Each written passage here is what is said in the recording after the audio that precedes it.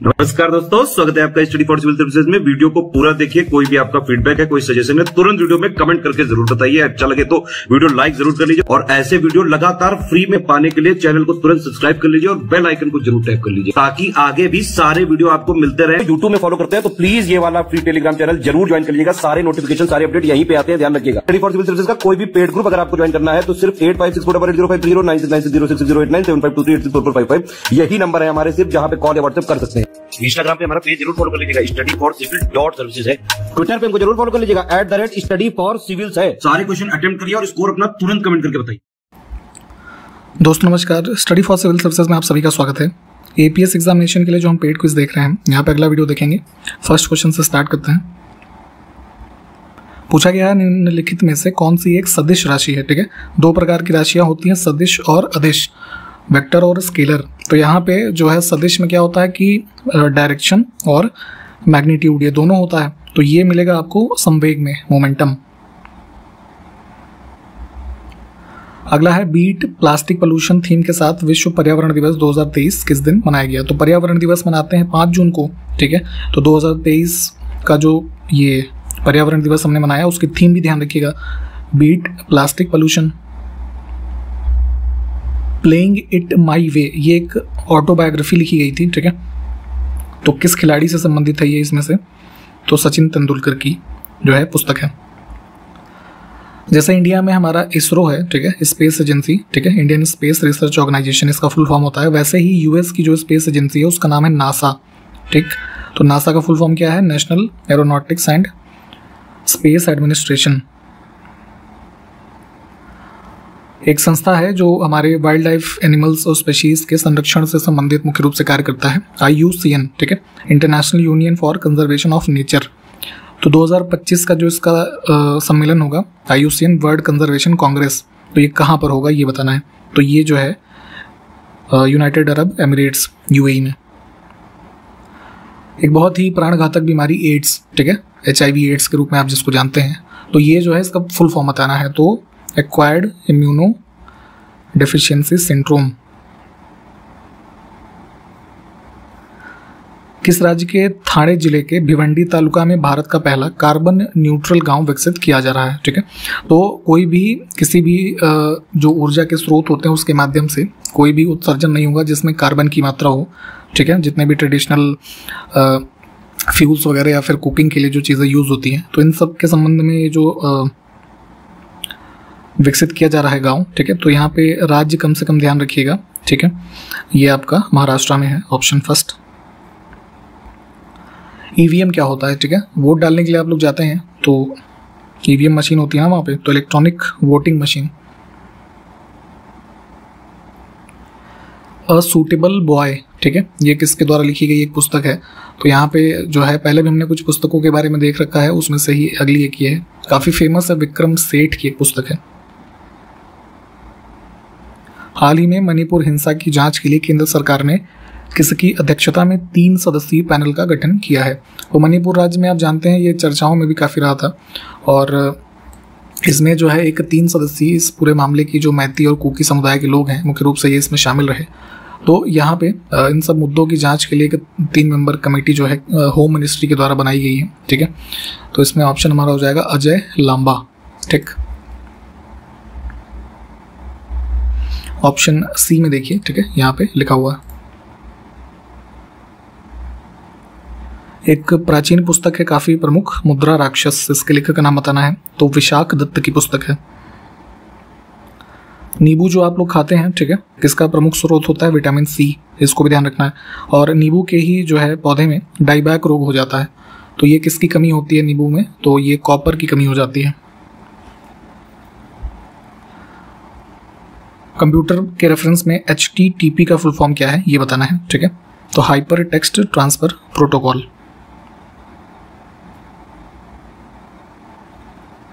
British शासन काल में सबसे पहले भारत में जो बॉम्बे मद्रास और कलकत्ता में उच्च न्यायालय स्थापित किए गए तो उनका वर्ष बताना है। तो इंडियन हाई कोर्ट्स एक्ट बना था 1861 उसके माध्यम से इन तीनों को स्टैब्लिश किया गया है 61 में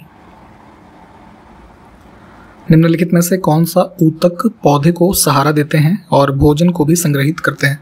तो प्लांट्स के बारे में भी कई बार चीज़ें पूछ ली जाती हैं, ठीक है? तो पैरन काइमा एक टिश्यू होता है, जैसे ह्यूमन के रेफरेंस में आप चीज़ों को पढ़ते हैं अंगों के बारे में, वैसे प्लांट के भी स्ट्रक्चर कुछ होते हैं कॉम्पोनेंट्स होते हैं। तो पैरन काइमा टिश्यू जो है प्लांट को एक सपोर्ट सिस्टम प्रदान करते हैं और फ़ूड को स्टोर करने का मेनली काम करते हैं, ठीक है? और एक कॉलिन काइमा जो यहाँ पे ऑप्शन सी में लिखा है, इसको भी जानते रहिए। ये बेसिकली पौधों को टेंसाइल स्ट्रेंथ प्रदान करते हैं, ठीक है? ये दो चीज़ें कम से कम ध्यान रखेंगे, ये एग्ज़ाम में पूछा जाता है। मंत्रिपरिषद का सदस्य जो है, बने बिना यहाँ पे होना चाहिए था, ठीक है? राज्य विधानसभा का सदस्य बनने के लिए थोड़ा सा करेक्शन करेंगे इसमें हम।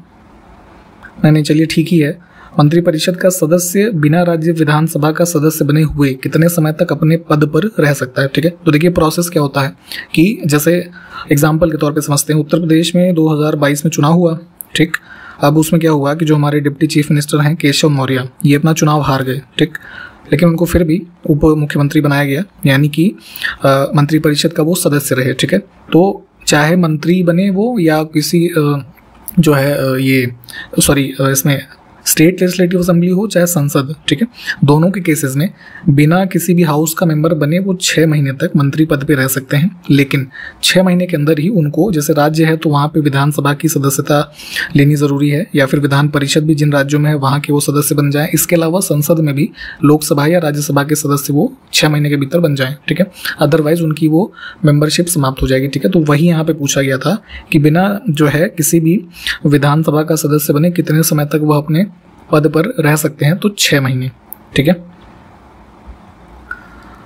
एम आर आई का फुल फॉर्म बताना है हमको, ठीक है? तो एक मेडिकल स्कैन होता है एक प्रकार का, ठीक है? आपके इंटरनल बॉडी ऑर्गन्स जो है, उसकी एक स्टडी के लिए आपको कुछ बीमारी अगर है तो उसकी पहचान करने के लिए।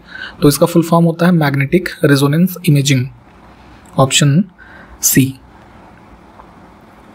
राज्य पुनर्गठन आयोग ने 1 नवंबर 1956 को कितने राज्य तथा कितने संघ राज्य बनाए, ठीक है? तो आज़ादी के बाद था क्या कि बहुत सारे प्रिंसली स्टेट थे। अभी वर्तमान में जैसे हमारे भारत में अट्ठाईस राज्य हैं, ऐसी स्थिति नहीं थी, ठीक है? तो एक स्टेट ऑर्गेनाइजेशन रीऑर्गेनाइजेशन कमीशन बनाया गया था, ठीक है? तो उसके माध्यम से इन्होंने जो सुझाया तो उस समय की जितनी भी भारत की टेरिटरी थी, उसको चौदह राज्य तथा छः केंद्र शासित प्रदेशों में विभाजित किया गया, ठीक? तो इसमें ऑप्शन फ़र्स्ट को चुनेंगे, ठीक है? वर्तमान में क्या स्ट्रक्चर हमारे पास है? अट्ठाईस राज्य हैं और आठ केंद्र शासित प्रदेश हैं। अगला है इंदिरा गांधी राष्ट्रीय मानव संग्रहालय कहाँ पर स्थित है? इस प्रकार के इंस्टीट्यूशंस के बारे में भी पूछा जाता है। तो ये तो है खैर मध्य प्रदेश में, भोपाल में। अब यहाँ पे देखिए, निम्नलिखित में से कौन सा एक युग्म सही सुमेलित नहीं है, ठीक? तो कुछ हमारी प्रमुख पुस्तकें हैं, लेखक का नाम लिखा हुआ है। तो essays on the Gita, Bhavabhuti नहीं, ये अरविंदो घोष की पुस्तक है। ठीक? अन्य विकल्प ठीक है, इनको देख लीजिए।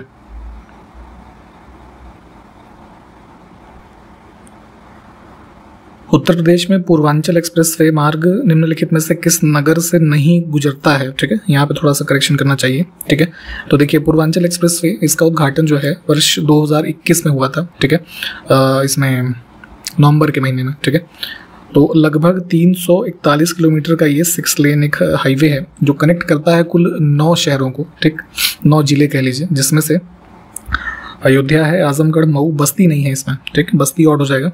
अब बेसिकली देखिए, लखनऊ, बाराबंकी, अमेठी, सुल्तानपुर, फिर जैसे अयोध्या यहाँ पे दिया हुआ है अंबेडकर नगर भी है इसमें, ठीक है? आजमगढ़ हो गया, मऊ हो गया और गाजीपुर, ठीक? सिडबी का पूर्ण रूप क्या है इसमें से, ठीक है? Small industries development bank of India option first GST परिषद का अध्यक्ष कौन होता है, ये बताना है। तो भारत में जीएसटी लागू किया गया जो है 2017 से 1 जुलाई 2017 तो उसी क्रम में जो जीएसटी का अमेंडमेंट हुआ तो एक जीएसटी काउंसिल बनाई गई, ठीक?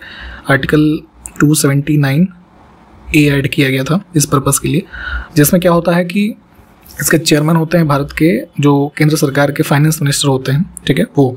और बाकी अन्य राज्यों के जो चीफ मिनिस्टर वगैरह हैं, ये शामिल होते हैं।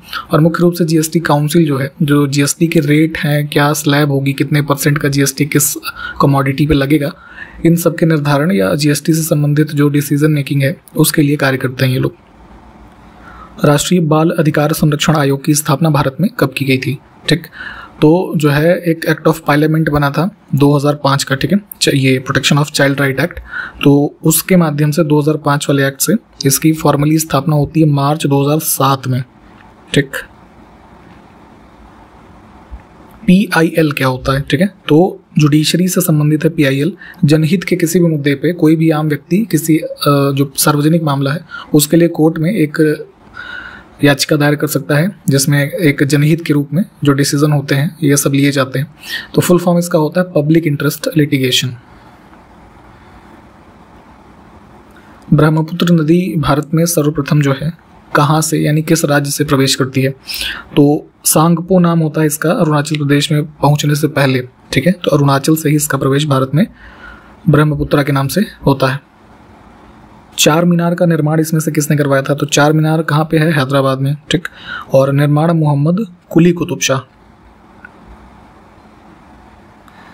इसमें गोदावरी की सहायक नदी कौन सी? नहीं है, ठीक?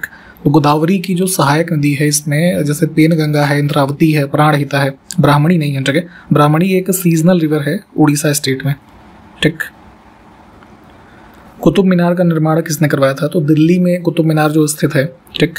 तो अराउंड ग्यारह सौ तिरानवे में कुतुबुद्दीन ऐबक के द्वारा जो है इसको कंस्ट्रक्शन स्टार्ट करवाया गया और जो है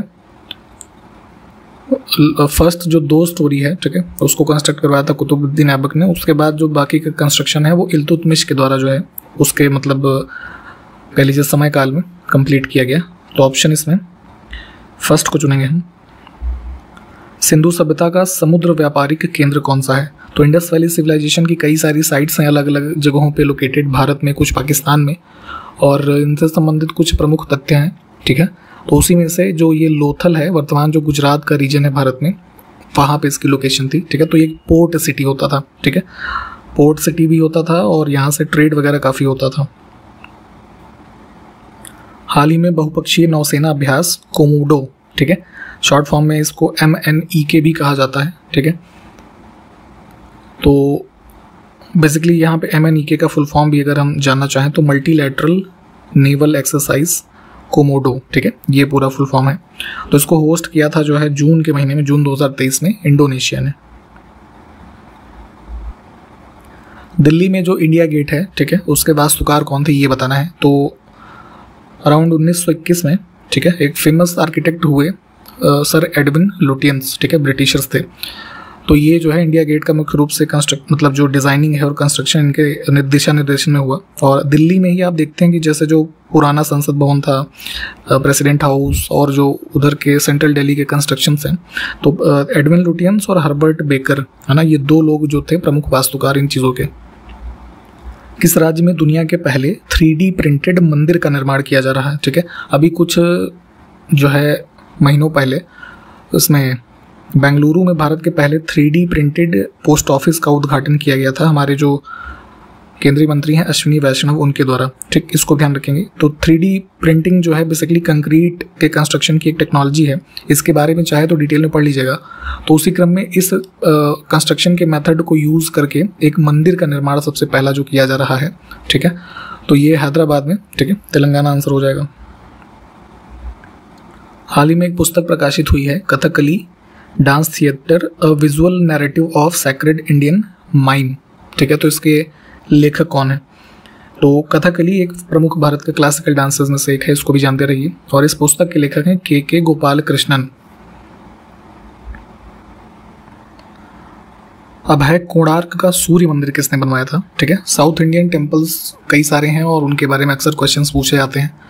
तो जो है, ये उड़ीसा में ये गंग डायनेस्टी के रूलर थे थर्टीन सेंचुरी के आसपास नरसिम्ह देव फ़र्स्ट ठीक है तो इन्होंने बनवाया था। जैनुल आबदीन, ठीक है, एक शासक था, इसने गो हत्या प्रतिबंधित कर दी थी, यानी कि जो गायों का हत्या पहले सब मुगल टाइम पीरियड में भी काफ़ी प्रिवेलेंट रहा तो इसको बैन किया था इसने तो ये कहाँ का शासक था, ठीक है? तो कश्मीर जो वर्तमान जम्मू कश्मीर है, कश्मीर वैली का शासक हुआ ये, और इसको जो है कश्मीर का अकबर भी कहा जाता है, ठीक है? जैसे मुगल बादशाह अकबर काफ़ी पॉपुलर हुए, ठीक है? तो वैसे कश्मीर के अकबर के रूप में जैनुल आबदीन को जाना जाता है, ये चीज़ ध्यान रखिएगा। निम्नलिखित विदेशी यात्रियों में कृष्णदेव राय, जो विजयनगर साम्राज्य से संबंधित थे, ठीक है? इनके शासनकाल में आने वाले दो पुर्तगाल वासी कौन थे, ठीक है? तो कई सारे विदेशी यात्री अलग अलग समय पे आए भारत में, ठीक? तो उसी में से डोमिंगो पायस और फरनाओ नूनिज, ये लोग जो है पुर्तगाली थे। इसमें बाकी जैसे ये अब्दुल रजाक फारसी था और निकोलो कोंटी इटालियन, ठीक? तो तीन और चार को चुनेंगे हम यहाँ से।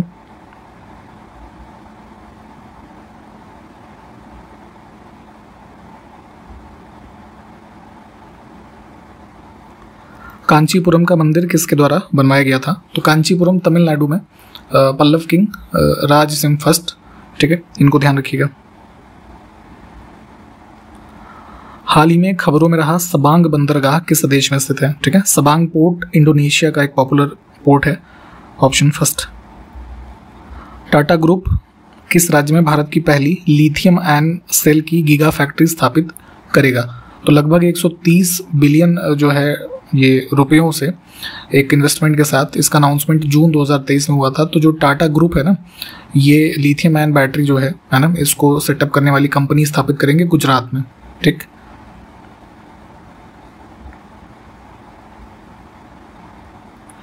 हाल ही में अरब सागर में उठने वाले चक्रवाती तूफ़ान बिपर जॉय का नामकरण किस देश ने किया है? तो जून के महीने में ही जो है अरेबियन सी में एक डेवलपमेंट हुआ साइक्लोन का, जिसका नाम दिया गया बिपर जॉय। ठीक?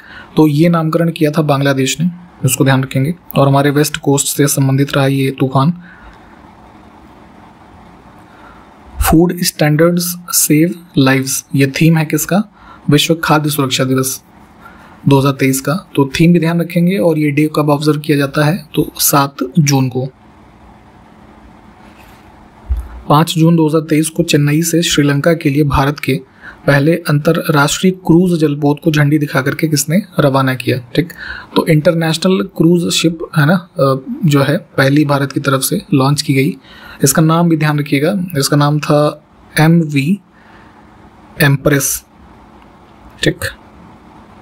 तो इसको यहाँ चेन्नई से फ्लैग ऑफ़ किया था सर्बानंद सोनोवाल ने। ठीक है? ये यूनियन पोर्ट और शिपिंग मिनिस्टर हैं ये। अब कुछ मैथ्स के क्वेश्चंस को देखेंगे। यदि एक किताब को 18 प्रतिशत की छूट देने के पश्चात पंद्रह सौ निन्यानवे में बेचा जाता है तो किताब का अंकित मूल्य रुपए में कितना होगा? ठीक? तो किसी भी वस्तु की पूरी मूल्य कॉस्ट प्राइस जो पूछा जा रहा है, कितनी होगी? मार्क प्राइस सौ ठीक है? अब कहा यह गया कि 18 प्रतिशत की छूट देने के पश्चात पंद्रह सौ निन्यानवे की है तो यानी 100 में से 18 गया तो कितना आ गया? बयासी।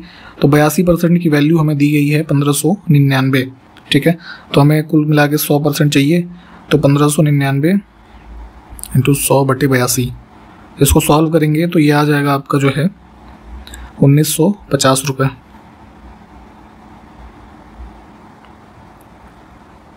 पंकज तथा पुनीत की वर्तमान आयु का अनुपात पाँच अनुपात छः है तथा उनकी आयु का योग तैंतीस वर्ष है, ठीक? तो उनकी आयु में कितना अंतर वर्षों में है? तो मान सकते हैं हम क्या इसमें? पंकज की आयु मान लीजिए पाँच एक्स ठीक है? और पुनीत की मान लीजिए छः एक्स ठीक? तो कह रहा है कि इन दोनों का योग जो है वो तैंतीस है तो five x plus six x equals to thirty three ठीक है? तो क्या हो जाएगा ये? ग्यारह x equals to thirty three तो एक्स की वैल्यू आ गई कितनी? तीन। ठीक है? तो six x minus five x equals to तीन ही आ रहा है, एक यूनिट की वैल्यू है ना? तो दोनों की आयु में जो अंतर है वो तीन वर्ष का है।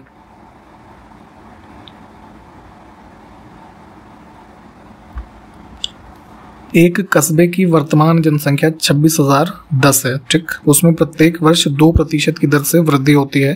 तो दो वर्ष पहले शहर की जनसंख्या कितनी थी, ये बताना है। ठीक है? तो इसको हम कुछ ऐसे कर सकते हैं कि अगर हमें दो वर्ष पहले की आयु निकालनी सॉरी ये जनसंख्या निकालनी है, ठीक है? तो दो छब्बीस हज़ार दस। ठीक? बटे एक प्लस दो बटे सौ स्क्वायर, ठीक है? इसको आप सॉल्व करेंगे तो आगे ये हो जाएगा छब्बीस दस इंटू पचास इंटू पचास कर लेते हैं बटे इक्यावन इंटू इक्यावन। तो ये कुल सॉल्व करेंगे तो पच्चीस हज़ार आ जाएगा, ठीक? तो दो वर्ष पहले इतनी जनसंख्या थी। जो भी कैलकुलेशन यहाँ पे बताई जाती है प्लीज़ उसको पेपर पे सॉल्व कर लिया करिए। हमारे पास इस वीडियो में टाइम लिमिट है तो एक एक चीज़ बता पाना पॉसिबल नहीं है। एक वस्तु को अठारह हज़ार चार सौ पचास का बेचने पर एक व्यक्ति को 50 प्रतिशत की हानि होती है। 50 प्रतिशत का लाभ प्राप्त करने के लिए उसे वस्तु को किस कीमत पर, यानी कि रुपए में बेचना चाहिए? ठीक? सिंपल साइज़ में है कॉमन सेंस से भी देखें इसको।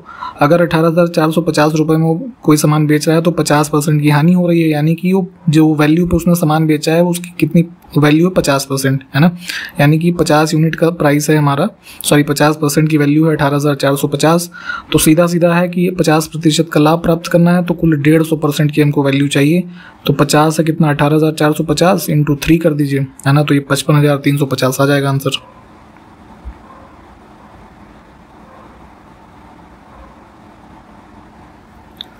एक व्यक्ति के तीन बेटे, दो बेटियाँ तथा एक पत्नी है। उन्होंने उन्नीस हज़ार रुपए की एक राशि को आपस में इस प्रकार बांटा कि प्रत्येक बेटी को प्रत्येक बेटे से डेढ़ गुना राशि मिले तथा उसकी पत्नी को प्रत्येक बेटे से छः सौ रुपये कम मिले, ठीक है? तो तीनों बेटों को मिलने वाली कुल राशि रुपए में कितनी है? इसको हम ऐसे कर सकते हैं। उन्नीस हज़ार रुपये की हमारी कुल वैल्यू है। एक व्यक्ति के तीन बेटे, दो बेटियाँ तथा एक पत्नी है, ठीक है? तो मान लीजिए कि हर बेटे को जो हमें पैसा मिल रहा है, वो है एक्स ठीक है? तो इक्वेशन हम एक बना सकते हैं कि बेटियाँ हैं दो तो कर लीजिए दो, इनको डेढ़ गुना पैसा मिल रहा है ना तो वन पॉइंट फाइव एक्स ठीक है? प्लस बेटे हैं कितने? तीन तो थ्री इंटू एक्स ठीक है? और प्लस बीवी को जो उसके मिल रहा है पैसा छः सौ रुपये कम बेटों से, है ना? तो इसको कर लीजिए एक्स माइनस छः सौ, ठीक है? इक्वल्स टू उन्नीस हज़ार रुपये ठीक? तो यहाँ से कुल टोटल ये कितना हो गया? सेवन एक्स ठीक है सेवन एक्स इक्वल्स टू उन्नीस हज़ार छः सौ। ठीक तो यहाँ पे इसको काटेंगे तो एक्स की वैल्यू हमारी आ जाएगी कितनी? अट्ठाईस सौ रुपये ठीक है तो तीन बेटों को पैसा पूछा था ना तो अट्ठाईस सौ इंटू तीन कर लीजिए, है ना? तो ये चौरासी सौ रुपये हो जाएगा।